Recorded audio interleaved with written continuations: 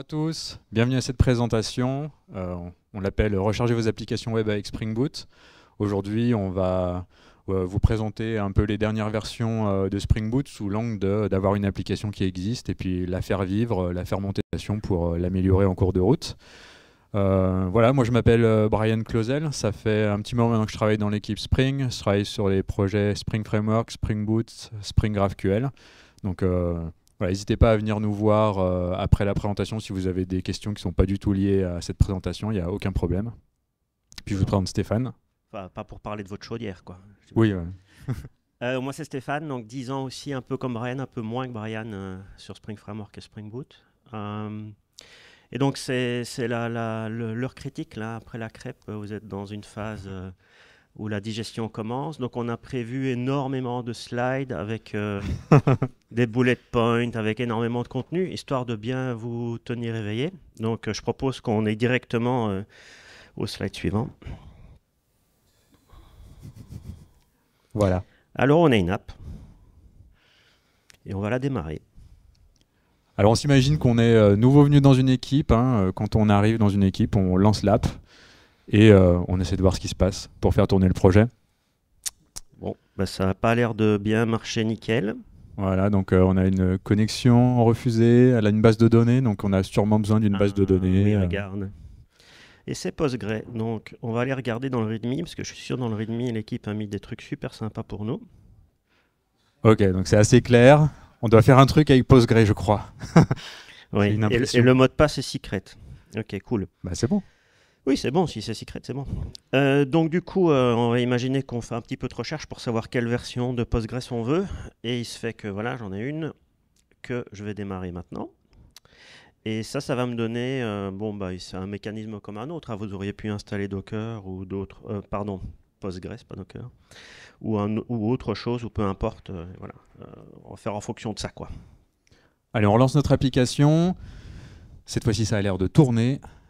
On va pouvoir utiliser notre navigateur pour regarder ce qui se passe. Alors là, on voit que c'est notre service de online gaming. En fait, c'est une page de statut de service. Donc on, imagine qu'on travaille sur une plateforme de jeu en ligne euh, avec de l'infra, euh, des composants d'infra, donc euh, le CMS, un load balancer, des choses comme ça, et leur disponibilité.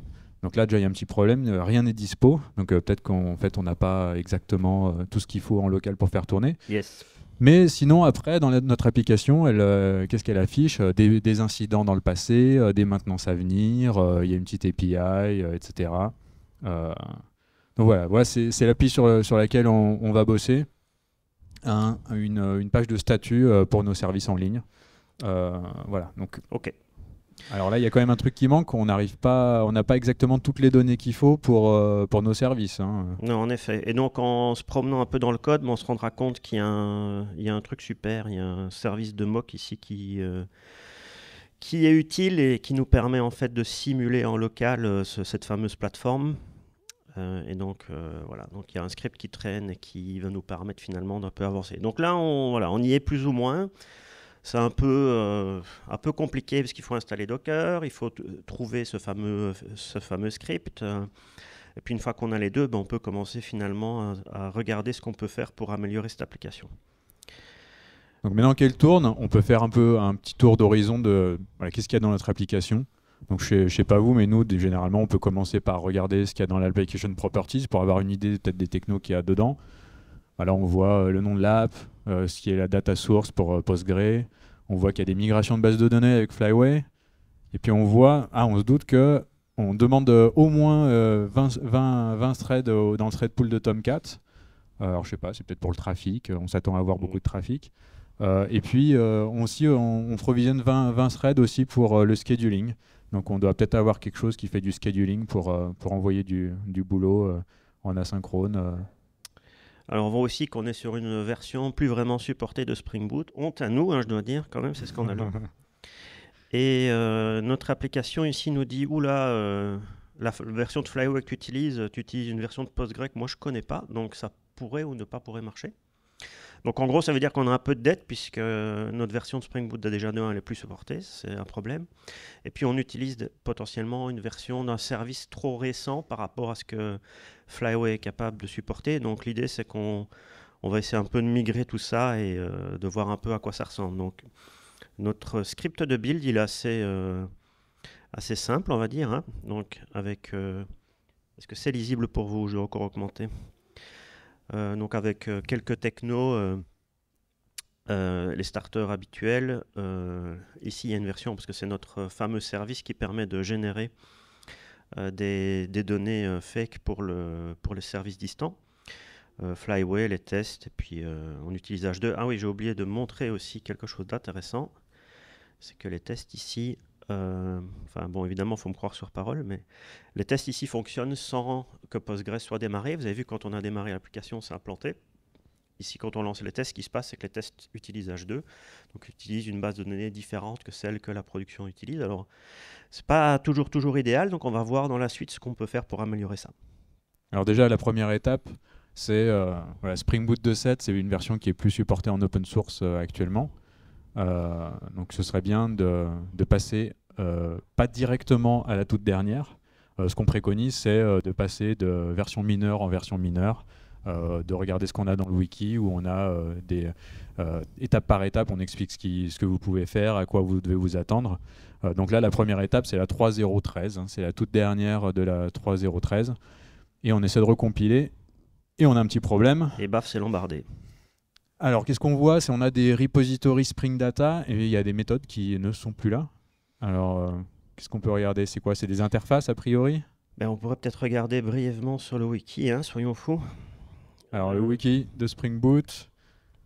Donc, oui, autant pratiquer ce qu'on ce qu'on vous disait. Donc, euh, dans, sur, sur ce wiki, quand vous regardez les versions, euh, vous avez des guides de migration. Donc, typiquement, le, le, Migration Guide pour la 3.0. Et vous avez euh, qu'est-ce que, ce à quoi vous pouvez vous attendre, les, les minimum requirements, qu'est-ce qui a changé? Alors nous, on est plutôt dans l'esprit euh, data. Donc est-ce qu'il n'y a pas un truc avec euh, Spring Data? Ouais, j'essaie de voir si je peux euh, scroller ou bien si ça va devenir m'épuiser suffisamment je vais faire une recherche. ça m'épuise suffisamment, on fait une recherche.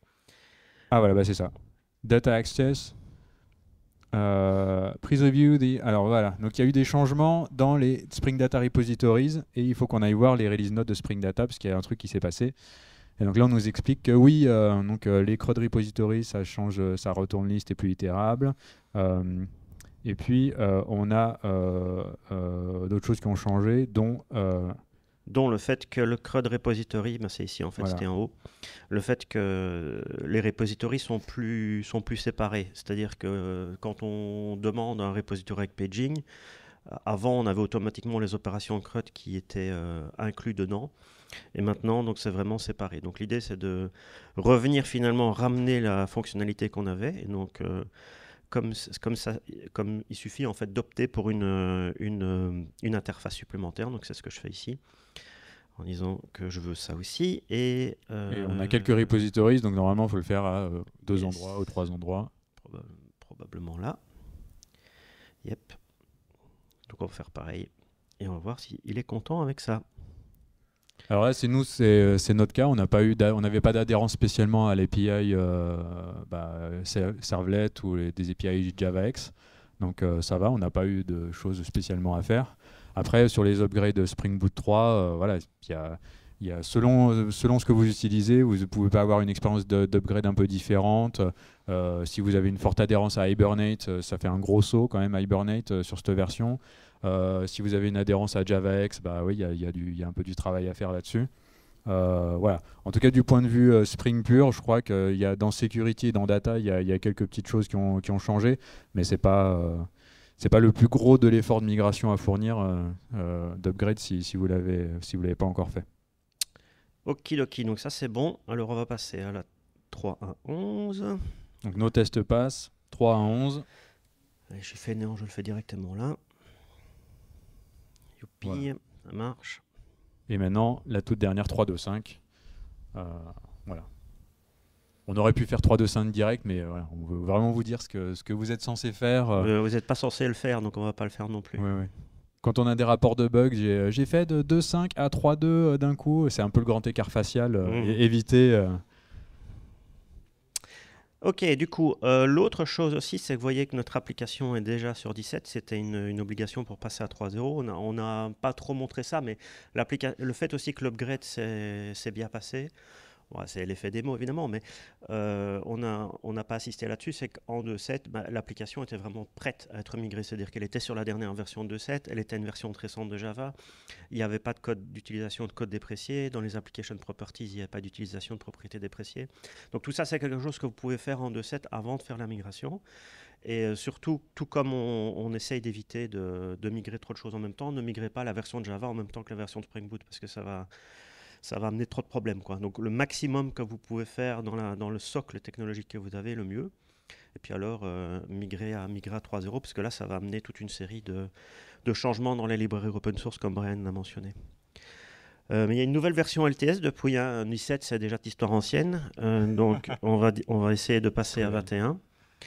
Et je vais vérifier que j'ai bien 21 ici. Je pense que oui.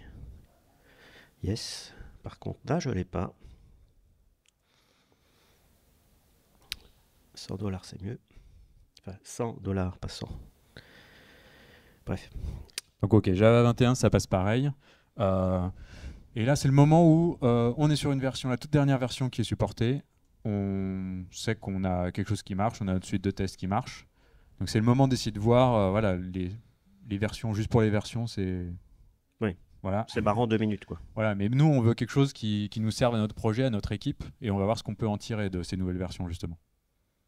Là, tu nous montrais quoi? Tu nous montres les threads de notre application Ouais, du coup, donc j'ai démarré l'application, on montre un peu les, threads ici. On voit qu'il y a quand même pas mal de, threads qui sont, qui sont parqués. Bah, c'est la propriété que Brian expliquait tout à l'heure. Hein. Donc, on s'attend à ce qu'il y ait énormément de trafic. On imagine qu'il y a énormément de trafic dans cette app. Et donc, on, s'assure qu'on a un, thread pool qui est prêt à accepter ce trafic. Même chose pour le scheduling. Hein. Imaginez qu'il y a plein de choses qui se passent dans le background. Donc, si on refait un nouveau snapshot, on verra que il y a aussi des traits de scheduling quelque part. Il faut juste que je les retrouve. Euh, où est-ce qu'ils sont? Les là. On les voit ici. Voilà. Euh, donc, qu'est-ce qu'on peut faire finalement? Il y a plusieurs options, mais qu'est-ce qu'on pourrait faire? Qu'est-ce qu'on pourrait euh, utiliser avec cette nouvelle version de Spring Boot qu'on a pour passer à un autre paradigme qui est l'utilisation des virtual threads du Project Loom? Donc, une bah, explication là-dessus. Alors, bah, les virtual threads, si vous n'êtes pas allé voir euh, José tout à l'heure, qui je pense a dû en parler, euh, les virtual threads, en fait, c'est quelque chose qui permet d'avoir des threads légers dans, Java. Euh, donc, au lieu d'avoir un thread avec la classe thread dans Java qui se map directement sur un platform thread, donc un, thread niveau OS, donc ces, ces threads-là, ils sont, ils plus, ils sont ils peuvent être coûteux à créer parce qu'il y, y a, de la mémoire à réserver, des ressources à réserver. Et euh, euh, passer de l'un à l'autre, ça suppose aussi euh, des choses au niveau CPU. Donc ça a un certain coût. ici, dans Java, avec les virtual threads, donc en fait, ces threads avec la même classe, c'est ça le tour de force, en fait, avec la même classe, la même apparence, le même objet, au lieu de se mapper sur des platform threads, on va, se on va se placer avec des threads dits logiques. Donc c'est la machine virtuelle Java qui va nous donner des threads et qui va faire le scheduling derrière. Et de manière transparente pour nous, ça, ça pourra utiliser les threads plateforme ou euh, être mis en pause. Et ça peut nous permettre ainsi de pouvoir créer euh, des milliers, des millions de threads sans euh, outrepasser les, les, ressources de notre serveur, puisqu'ici, au lieu d'être limité par je sais pas, la mémoire typiquement de notre serveur, parce que créer des threads, ça occupe de la mémoire, ou en créant trop de threads, on, fait trop de, de passages de l'un à l'autre, et du coup, on perd en efficacité. Euh, là, ici, on, est, on reste super efficace et on arrive à créer beaucoup, beaucoup de threads. Donc là, dans notre cas, ce qui pourrait nous intéresser, c'est d'avoir euh, moins de threads et de pouvoir, euh, de pouvoir faire la même chose, mais avec moins de threads plateforme. Oui. Et donc, c'est une option qui est disponible à partir de Java 21, puisque c'est à ce moment-là que c'est sorti de preview. et l'idée, c'est que Spring Boot ne va pas prendre la décision d'activer ça automatiquement pour vous, parce qu'il y a des choses, vous devez être conscient des impacts que ça a. Ça peut avoir aussi des, subtilités si euh, actuellement, même s'ils sont en train de le, de, le, fixer, le problème de thread pinning. Donc, si vous commencez à utiliser des, des blocs synchronized partout, ça peut avoir un impact. Donc, l'idée, vous, vous, devez un peu revoir votre application et déterminer si, en fonction de votre application, c'est une bonne idée. Donc, si vous faites énormément d'IO application web qui fait énormément d'IO, typiquement, bah, ça c'est tout bon, c'est banco. Si vous avez une app qui fait énormément de CPU, bah, ça ne va pas changer grand-chose, typiquement. Mm. Donc, c'est à vous finalement de décider si vous voulez l'utiliser ou pas. Et puis, si vous décidez de l'utiliser, il y a une option activée pour finalement dire je veux basculer en, mode Virtual Threads. Et donc là, Spring Boot va euh, euh, faire le boulot pour vous pour tout ce qui est autoconfiguration. Donc, les thread pools du, du servlet container, les thread pools du scheduling, tout ça, tout ce qui peut, lui, euh, adapté pour que ce soit transparent pour vous, il va le faire. Quoi. Et il va aussi vous offrir des... Euh, donc à partir de cette version, du coup, typiquement, va vous offrir des utilitaires si vous voulez créer des thread pools qui utilisent Virtual Threads. Hmm. Donc en, gain, vous pouvez espérer quoi? Vous pourrez espérer euh, sur une API, une, appli typique qui fait de l'IO, donc réseau, disque ou je sais, je sais autre, qui bloque pendant qu'on traite les requêtes. Ce que vous pouvez espérer, c'est qu'avec beaucoup de threads, vous utiliserez bah, pas autant de mémoire que si vous utilisez des vrais threads. Donc euh, en, activant cette option et en faisant un peu des tests de perf, normalement vous pourrez voir une baisse de la consommation de mémoire, euh, même à haute charge en fait. Donc euh, c'est typiquement le genre de choses que vous pouvez espérer. après voilà, il y y a, le fait de pouvoir faire plus de concurrency pour un même service. Mais comme disait Stéphane, il faut, il faut quand même tester un peu euh, la perf de, et la charge qu'on attend, parce que les retours qu'on a aussi parfois, c'est euh, bon, bah, maintenant que je peux mettre la, blinde de concurrence, avoir plein plein de users en entrée au niveau de la stack web, bah, vous allez peut-être trouver un petit point de, de, bottleneck quelque part dans votre appli sur un autre, sur, sur un pool de connexion ou autre. Donc c'est là où on peut voir, euh, voilà, quelle est la prochaine étape si vous voulez avoir encore plus de, trafic et plus de concurrence sur votre app. Mais sachez qu'au niveau web, déjà comme ça, vous pouvez aller très très loin. Alors du coup, euh, maintenant qu'on a, on a la nouvelle version de Spring Boot, on peut aussi s'amuser avec des nouvelles fonctionnalités. Euh, qui connaît le REST template ici? Il y a plein de timides qui ne lèvent pas la main, j'en suis sûr. Et vous adorez tous son API, je parie? Tout le monde adore son API et veut qu'elle change. Et la paye il y a 20 ans, donc c'est un peu compliqué. Euh, donc l'idée c'est que euh, c'est définitivement un pattern qui est super populaire. Vous savez qu'il y a eu le Web Client avec Spring Framework 5 qui offrait une, une, API non bloquante, une nouvelle API. donc il y a certains, certains d'entre vous qui, sont passés à ça. Les raisons de streaming ou, ou, si vous faites de la composition en plusieurs services, c'est vraiment top. Maintenant, pour des cas, plus, simples ou simplement si le reste template suffit très très bien à vos besoins, hein, ce qui est tout à, fait, euh, tout à fait une bonne option. Voilà, il y a une petite frustration de rester avec une API qui euh, commence un petit peu à devenir euh, ancienne, on va dire. Et donc, on, a bien pris ce, feedback-là en compte et on est en train de retravailler ces, classes templates pour offrir une alternative qu'on nomme client. C'est un pattern assez régulier, hein, puisque ben, on va vous montrer maintenant une nouvelle API qui, remplace, qui offre une, API un peu plus moderne au-dessus de REST Template. Donc allons-y. Donc elle s'appelle REST Client du coup. Et REST Template, il, est là pour rester. Hein. Quand on a déclaré qu'il était euh, mis en mode euh, bah, maintenance, c'est parce qu'en fait on ne voulait plus le faire évoluer. On est arrivé un peu au bout de ce qu'on voulait et pouvait faire avec. Donc REST Template, il est là, on ne va pas le supprimer. Et par contre, on offre des alternatives comme REST Client si vous voulez avoir une, utiliser une, API différente.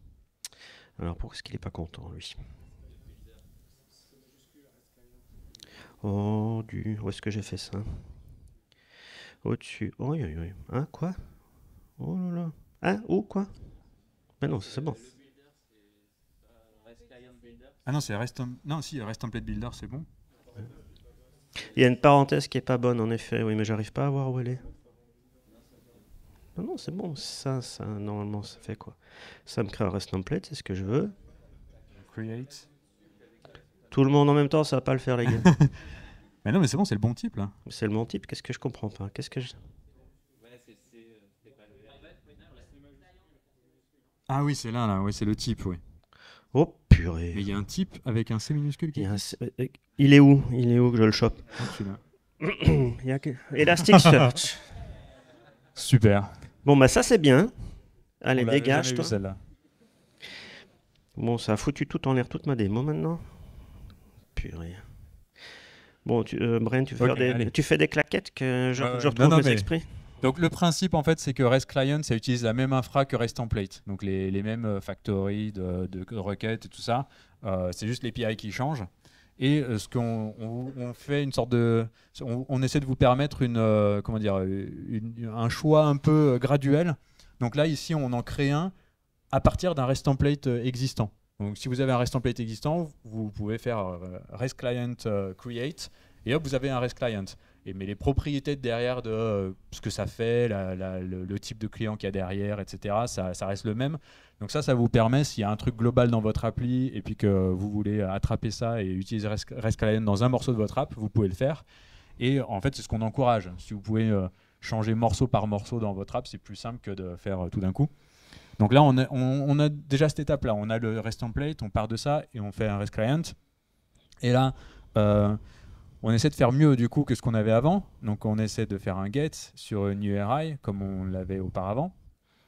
Euh, sur le, composant qu'on cherche à vérifier. Donc oui, ça on l'a pas dit. Donc ça ici, ce composant dans notre appli, c'est ce qui vérifie que le CMS, le load balancer, etc. vérifie la, santé des différents euh, services externes. Donc c'est ce qui fait qu'on affiche euh, les petites dispo, pas dispo. Et on voit qu'avec le reste template, dès qu'on veut jouer avec des, des, headers, il y a un petit peu de cérémonie. Donc l'idée, c'est aussi de voir comment est-ce qu'on peut réduire cette cérémonie, rendre ça un peu plus fluent. Voilà, donc ici on a une DSL. Hein. Le, le, format template, c'est on a un objet et on a 50 euh, 000 méthodes avec que des variantes, c'est pas facile pour s'y retrouver. Là, on a une DSL, c'est un peu plus fonctionnel, c'est un peu plus guidé aussi, on a moins de choix à chaque étape, et, mais c'est plus facile à utiliser pour des cas euh, qui sont euh, assez courants quand même. Donc voilà, donc là on a transformé notre entity avec 15 lignes machin au-dessus avec quelque chose d'un peu plus fluent, un peu plus, un peu plus guidé, et on a la même fonctionnalité pour, pour, pour ce truc-là. Donc là on a notre test, euh, pour ce composant-là dans notre application. Euh, ce test, il passe en fait. Hein. On, a, on a un mock service server qui va euh, moquer un service distant et on s'assure que notre composant, il vérifie et qu'il marche, qu'il arrive à détecter si un truc est cassé ou pas. Si vous ne connaissez pas REST Client Test, hein, c'est une, des nombreuses facettes de, de tests dans Spring Boot hein, qui vous permet de configurer un test uniquement avec un sous-ensemble de ce que Spring Boot a à offrir. Donc ici, dans ce cas-ci, ça va uniquement créer l'infrastructure web. Euh, ça va mettre en place le, mock server dont Brian a, parlé. Puis ça va lier le, REST template avec le mock server automatiquement, comme ça vous n'avez rien à faire. Euh, donc comme on injecte finalement le builder, le builder est prêt à être euh, lié à ce, mock server. Et donc du coup, bah, derrière, on peut les, injecter ici gentiment et puis euh, écrire nos tests. Et donc ça ne va, pas, commencer à scanner le reste de votre application, ça ne va pas euh, configurer le scheduling par exemple, ça ne va pas configurer le, serveur web. Donc l'idée vraiment c'est de, restreindre le scope et d'avoir des, tests qui sont plus isolés et qui démarrent plus rapidement. Donc là, la première étape, on a fait un truc pour euh, les perfs au run de notre application avec les virtual threads. Là, on a fait quelque chose pour, bah, pour être sympa avec nos collègues développeurs, pour avoir une API un peu plus sympa. Et là maintenant, ce qu'on pourrait faire, c'est ah, tu veux passer Non, euh, je peux le mentionner brièvement, mais vous voyez ici que Brian disait si vous avez REST template, bah, restez avec ça au début pour faire la migration. L'idée, c'est que si à un moment donné, vous voulez vraiment euh, enlever REST template complètement de votre infrastructure, c'est possible aussi. Donc, euh, je ne vais pas le faire en entier, mais il y a un, REST Client Builder qui offre aussi une API du même style que le Web Client, donc une API un, peu aussi un peu plus moderne, que Spring Boot gère automatiquement, qui est automatiquement généré par le REST Client. Donc, en gros, l'idée, c'est que vous pouvez enlever complètement l'utilisation du REST Template Builder et migrer euh, à REST Client complètement de cette manière-là. On vous donnera le lien vers notre repo il y a toutes les étapes commit par commit. Euh, là, on, est à mi-chemin, donc on va essayer d'aller sur autre chose. Euh, on a fait quelque chose pour les développeurs. Maintenant, ce serait bien d'avoir quelque chose pour aussi, euh, bah, comme nous, les nouveaux venus sur l'application. Quand on est arrivé, on a dû lancer un Postgre, un autre truc avec un script secret. ce serait un peu mieux d'avoir une meilleure expérience, que ce soit pour arriver sur le projet ou pour le tester. Parce que là aussi, nos collègues nous disent Ah, bah, on teste avec H2. Et en prod, on est sur Postgre. Et en fait, il y a toujours des petites différences sympas sur les dialectes ou euh, les requêtes ou les définitions de schéma. Et euh, on, se, on, se, prend euh, des, les pieds dans le tapis en prod avec. donc là, ce serait bien d'essayer de faire autre chose. Yes, et donc on va faire une première étape où on va se focaliser sur les tests maintenant et on va enlever la dépendance vers H2 et remplacer ça par Postgre. Donc vous avez vu que pendant que Brian expliquait, j'ai coupé la base de données Postgres que j'ai démarré pour éviter toute confusion. Donc on voit bien ici que l'application ne démarre plus. Euh, par contre, si je lance, non, ça, ça, va de nouveau foirer évidemment. Si je lance ces tests, juste pour montrer hein, euh, qui utilise le même H2, ça continue à fonctionner. Donc maintenant, ce qu'on va faire, c'est qu'on va essayer de remplacer tout ça. Et pour faire ça, on va utiliser une euh, librairie qui s'appelle Test Containers. Qui est-ce qui connaît ça? Voilà, vous connaissez presque, ça. Presque autant que le reste template, c'est bien. Ouais. Donc nous, le but, c'était d'essayer de, fournir quelque chose de, bah, d'adapté euh, pour, bah, pour cette librairie qui, a, qui, est très très connue et pour vous permettre de, de mieux l'utiliser dans vos tests avec Spring et pour que ce soit le plus transparent possible pour vous. Et, Alors, voilà. Stéphane, si tu ne vas pas dans les tests, ça ne va jamais fonctionner. Hein. Donc là, on va voir nos tests. Euh, c'est un data JDBC test. On utilise, euh, voilà, on n'utilise pas JPA, on utilise Spring Data JDBC. Yes. Ça marche très bien. Et, et en fait, on va utiliser test containers pour dire déjà qu'on ne veut pas exécuter nos tests quand on n'a pas Docker en local, parce que sinon ça va péter pour, euh, pour, rien du tout. Et là, euh, on a une dynamic property. Donc déjà, on va déclarer notre conteneur Postgre pour dire que voilà, on veut Postgre telle version. Euh, ça va nous démarrer notre conteneur. Et on fait quelque chose pour dire, euh, voilà, une fois qu'on a notre conteneur, on veut reconfigurer euh, des properties, donc typiquement les properties qu'on a dans notre application properties, avec l'URL, le username, le password, pour que notre test puisse, pour, puisse utiliser ça. Alors je le réplique euh, brièvement sur l'autre test qui en a besoin, comme ça on remplace complètement. Et alors ce qu'on n'est pas censé vous dire, c'est que ce qu'on est en train de vous montrer, euh, vous n'avez pas besoin de Spring Boot 3 pour le faire. En fait, ça vous pouvez le faire avec Spring Boot 2, mais on fait comme si on ne vous l'avait pas dit, hein, vous devez upgrader, c'était une blague. Alors si on démarre ce test-là, qu'est-ce qui va se passer? On va voir la différence dans les logs. Euh, la différence, donc le, test passe toujours, mais vous voyez qu'il y a du, de l'infrastructure au niveau Docker. On voit qu'il y a effectivement un conteneur euh, Postgre qui démarre avec un, port random ici. Hein, vous voyez, ce n'est pas le port standard de Postgre, donc ça ne va pas commencer à partir en cacahuète si vous aviez Postgre qui tourne sur le, port par défaut. Et puis voilà, ça les deux se lient gentiment et ça fonctionne. Donc ça veut dire que maintenant, ce qu'on peut faire, c'est qu'on peut faire deux choses. On peut dire notre configuration, on peut simplifier notre configuration, c'est-à-dire qu'on comment on arrête de faire du, du, changement de schéma en fonction de la base de données et on va simplement mettre le, notre fichier Postgre à la racine et enlever euh, les deux, euh, Parce les deux avait, répertoires. Euh, ouais, on avait un schéma par, euh, par, par type, un pour H2, un pour Postgre, parce qu'il y avait des syntaxes un peu différentes. Là, on n'a plus ce problème-là, on teste vraiment avec le schéma de prod qu'on est censé avoir. donc nos tests d'intégration sont un peu plus costauds. Euh... Mais bon, je suis triste parce que si je viens ici, mon application ne démarre toujours pas. Hein. Ça ne Ouais. te rend pas triste, toi? Bah, euh, moi, je sais pas si tu voulais faire, tu voulais pas faire avant le. Non, je suis triste, il faut, il faut fixer ça. Écoute, Bon, bah, c'est la prio alors, ok. la prio, la, prio de la tristesse. Alors, qu'est-ce qu'on pourrait faire? Bah, On pourrait euh, dire, bah, ok, on peut un peu améliorer les choses en créant un fichier Docker Compose à la racine du projet. Ben voilà, il est là. Ceux qui connaissent Docker Compose, ils ont compris. Le fichier est là. Ok, il faut exécuter Docker Compose avant de démarrer l'app. Euh, super. Bon, c'est bien, mais c'est pas encore GG. Quoi. Nous, ce qu'on voudrait vraiment, c'est que vous puissiez cloner votre projet, l'ouvrir dans un IDE, cliquer Run et pouf, ça fonctionne. Ça, c'est vraiment notre objectif. Et donc, on a, on a travaillé un petit peu à une, une amélioration de tout ça. Et dans Spring Boot 3, il y a. Donc là, il faut vraiment upgrader euh, on a une, une, intégration avec Docker Compose. Et vous voyez qu'elle est en mode développement only, hein, donc c'est bien une dépendance qui est uniquement pour le développement local. Ça ne va rien faire au niveau du code déployé. Donc si j'utilise ça, en fait, ce qui se passe, ben vous voyez que l'application démarre gentiment. Euh, pourquoi? Parce que Spring Boot va voir qu'il y a un fichier Docker Compose qui existe dans le projet il va l'interroger, il va voir que les services ne sont pas encore démarrés, il va démarrer les services, et puis après, il va démarrer votre application et, bi et binder, si vous voulez, les deux ensemble. Voilà. Alors le, support, il est assez complet, hein. même si vous avez plusieurs apps et qu'il y a une sorte de Docker Compose un peu global à plusieurs apps, etc. On supporte les Docker Pro Compose Profile, je crois que c'est les noms sur Oui. Profile. C'est ça. Donc en fait, vous pouvez euh, démarrer un service global pour plusieurs apps dans le parent. Vous pouvez, vous pouvez vraiment euh, aller assez loin. Vous pouvez lui dire euh, quand j'éteins l'app, est-ce que j'éteins les Docker Compose ou est-ce que je les redémarre, je les garde live ou pas? Donc euh, on- c'est assez complet normalement. Selon ce que vo- votre équipe préfère, vous pouvez a priori euh, faire ce que vous voulez euh, pour que ça marche bien dans votre cycle de développement. Bon, je suis content, on passe à quoi alors? Bah là, moi, ce qui, moi, ce qui me rendait triste Ah. de mon côté, c'était le fait qu'on fasse un peu de plomberie là dans les tests. Ah oui, ça c'est vraiment euh. Enfin, euh, voilà, enfin, on- on- on- Ça, tu veux dire Ouais, enfin voilà, on connaît le conteneur, on sait ce qu'on veut faire, le container Docker, on sait ce qu'on veut faire, et pourquoi est-ce qu'on doit dire à boot que euh, bah, l'URL c'est l'URL et le username c'est le username Oui, c'est un peu casse-pied, je suis d'accord avec toi. Et donc si on, prenait un peu cette dépendance-là, euh, donc je vais la copier ici, pouf, non, la copier là Stéphane, c'est mieux. Donc on voit Spring Boot Docker Compose, et si j'écrivais test containers à la place, il se passerait quoi, tu crois? Donc là, ouais, c'est une dépendance de test. Un truc magique? Pour nos tests.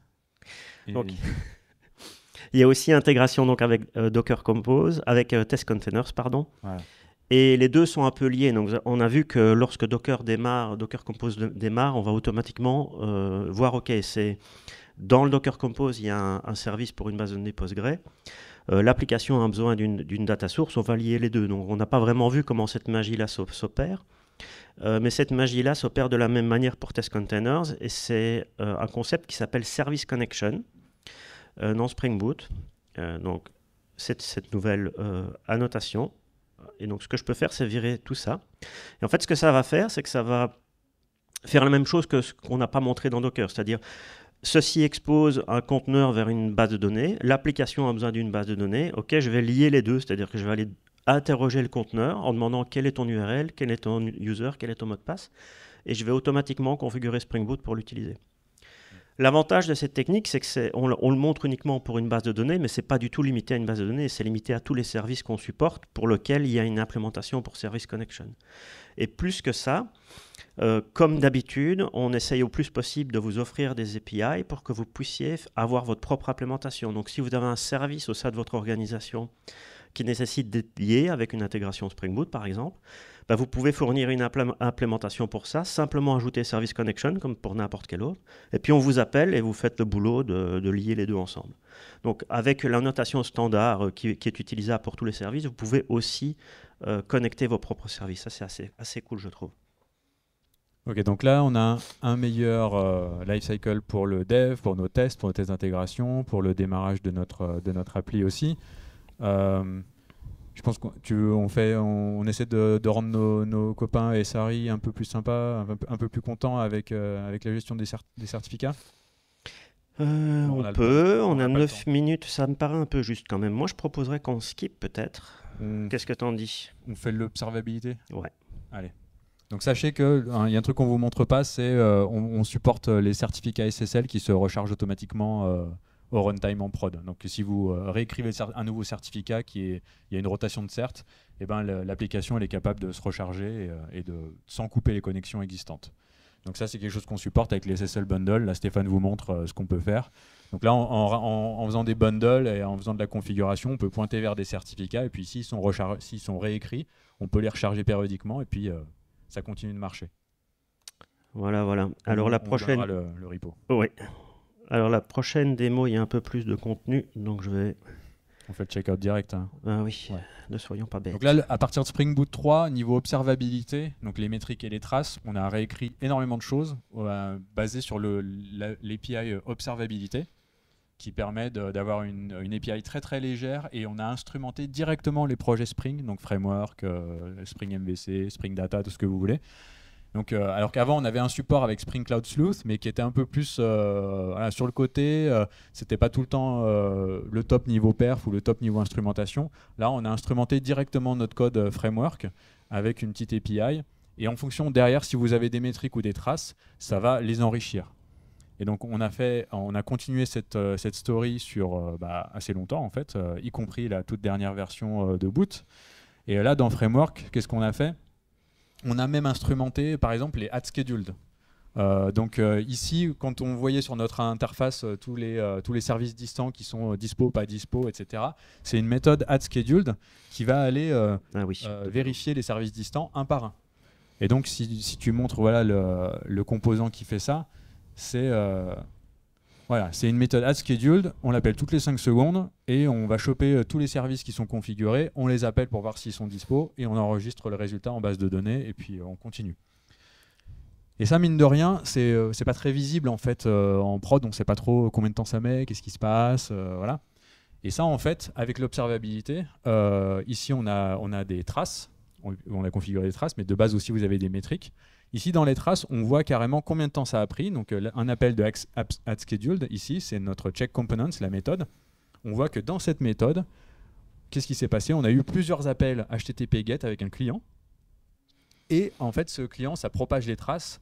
Et là, ça nous informe un peu sur ce qui se passe. C'est que finalement, quand ça se passe bien, c'est assez rapide, c'est c'est 300 millisecondes, mais que le service euh, indispo, en fait, il time out à 2 secondes. Euh, donc voilà, quand on aura peut-être plus de services, ça vaudra peut-être le coup de baisser un peu le timeout ou d'y réfléchir. Euh. Typiquement, c'est quelque chose qui n'est pas du tout visible, à moins d'avoir un vrai problème en prod et de devoir euh, chercher, vraiment se creuser la tête pour trouver ce qui se passe. Là, l'observabilité, ça permet d'avoir, bah, le jour où vous avez un souci en prod, ça permet de regarder et de comprendre le problème sans avoir avant mis des logs maudits dans, votre application ou, sans avoir cherché à, instrumenter le truc avant. Donc là, ça vous permet de trouver les problèmes avant. Enfin, une fois qu'ils arrivent, vous pouvez trouver la source des problèmes sans avoir réfléchi avant. Alors, euh, vous avez vu pendant que Brian essaie de, que vous ne regardiez pas l'écran parce que j'étais en train d'avoir un petit problème. Euh, l'idée, c'est que j'avais l'application qui tournait avec Docker Compose démarré et que dans son dos, j'ai changé le contenu du fichier pour ajouter plus de services et euh, il trouvait plus ses jeunes.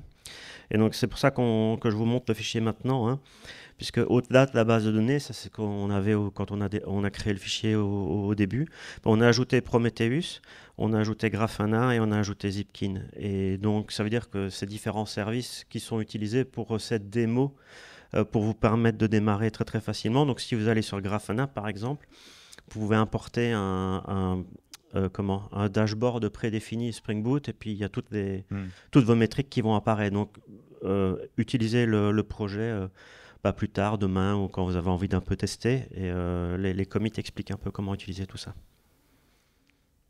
Donc voilà, maintenant on a déjà de plus d'observabilité et des métriques, euh, des traces dans notre appli. Euh, et la prochaine étape, qu'est-ce qu'on peut montrer? Bah... bah la prochaine étape, c'est de de start-up, ouais, et donc d'aller encore plus loin. Et donc là, du coup, on va. la dernière fois, on avait basculé au snapshot, genre 22 minutes après qu'ils aient mergé la fonctionnalité, mais cette fois-ci, c'est un peu mieux, puisqu'on a une RC1 quand même. Ouais, ouais. Donc, euh, allons-y. Donc en fait, niveau startup, en fait, vous avez euh, aujourd'hui, on, on, y a travaillé ces dernières versions. Euh, vous avez plusieurs choix aujourd'hui. Hein. donc il y a le choix native avec GraalVM où euh, ça amène son lot de, contraintes. Hein. Il faut compiler euh, la compilation native, etc. Mais ça démarre euh, sous la, en, quelques millisecondes, ça utilise très peu de mémoire. donc c'est très, pour certains cas d'utilisation, c'est très très bien. après, il y a aussi le cas checkpoint restore qui existe. Donc là, c'est vous avez une, une, appli qui tourne, vous faites une sorte de checkpoint, et là, vous pouvez redémarrer l'appli à chaud plus tard. Donc ça aussi, ça a son lot de contraintes un peu euh, qui est différent. C'est pas le même cas d'utilisation. Là, on veut une appli qui est, euh, euh, bah, qui est une JVM chaude et optimisée dès la première milliseconde. ça, c'est pas exactement le même cas non plus. Là, ce qu'on va vous montrer, c'est déjà des, des comment est-ce qu'on démarre Spring Boot et combien de temps ça met déjà? Parce que il y a, y, a, y a, pas mal, je sais pas si vous c'est votre cas, mais il y a pas mal de gens qui se posent des questions sur les temps de démarrage, comment est-ce qu'on peut faire mieux, comment est-ce qu'on peut mesurer. déjà, ce qu'on vous dit, Hein? Ah bah purée, ça on n'avait pas vu, dis donc. C'est quoi? Ben, Je pense qu'on a un truc qui, euh, au niveau observabilité, il n'est pas trop content. Ça nous apprendra, avec la snapshot, on n'a pas eu ça, tiens. Ok. Ok, bon, bah c'est pas grave. C'est pas grave. on va se focaliser sur le temps de démarrage. le temps de démarrage. Donc là, si vous faites, alors par défaut, quand vous construisez une appli boot, vous avez un jar, le euh, fat jar, hein, le jar exécutable avec euh, toutes les dépendances à l'intérieur. Ça, c'est super pratique pour le, mettre dans votre repo d'artefacts. Euh, et en local, pourquoi pas faire un Java Dash jar si vous voulez tester un truc. Par contre, en prod, ce qu'on, sur quoi on insiste, c'est éviter de faire des Java Dash jar parce que le temps de démarrage est plus long et même pour servir des ressources en production, vu qu'il y a un peu euh, une sorte de nesting, euh, ça fait un peu les poupées russes de jar, euh, c'est moins efficace qu'avec un, truc un peu plus à plat, des IP. Donc c'est pour ça que si vous regardez la doc de boot, il y a une section efficient deployments, quelque chose comme ça. Ce qu'on vous, ce qu'on vous encourage à faire déjà, c'est de faire l'extract. Donc là, Stéphane montre qu'avec le jar mode tools, on peut lui dire bah, extrais-moi ce jar on l'extrait dans, ici dans le répertoire Build App. Et quand on va dans Build App, euh, là-bas dedans, euh, on voit qu'il y a. oui, pardon. Pardon. Donc en fait c'est la même, ça, ça dézippe un peu euh, le, ce jar-là avec la structure attendue, les libs et le, une sorte de jar principal avec notre code et le ClassPass qui va bien.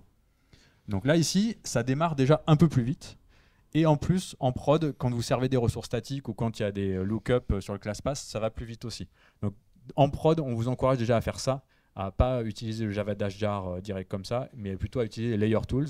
Et spécialement si vous utilisez si vous déployez des conteneurs euh, type Docker, euh, là c'est gratuit quoi. Vous le faites dans votre Docker file vous utilisez les, layer tools de boot et vous pouvez même séparer en layers pour être super efficace sur le stockage, avoir les dépendances dans une layer, votre code dans une autre pour être bien plus efficace sur, les, sur le stockage de vos images de conteneurs bah, voilà, et, si vous, et, si vous, utilisez BuildPack, c'est de toute façon ce qui va se faire par défaut. Hein, donc, si oui, dans BuildPack, on essaie de mettre toutes nos bonnes pratiques euh, dans les BuildPack.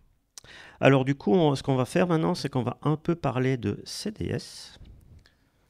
Donc oui, CDS, c'est quelque chose qui existe depuis Java 9 Oui. Ouais. Qui est-ce qui connaît CDS d'ailleurs? Ou App CDS L'ancien nom. Ah, c'est bien, on vous apprend un truc. Jusqu'à maintenant, je me disais, ouais. Bah, euh, voilà, donc CDS, c'est Class Data Sharing. En fait, c'est la JVM quand elle fait des lookups dans le ClassPass. Elle construit euh, une sorte de cache et, elle fait des vérifs sur le bytecode, etc. Et ça, c'est fait au runtime et beaucoup, beaucoup au démarrage. Et ça, mine de rien, quand on démarre avec un cache chaud euh, tout, pré, tout, tout précalculé, ça fait une bonne différence au démarrage. Et donc CDS, c'est quelque chose qui, qui, est arrivé en Java 9, enfin JDK 9, et qui a bien bien progressé, spécialement en 21 où il y a eu un gros gros saut.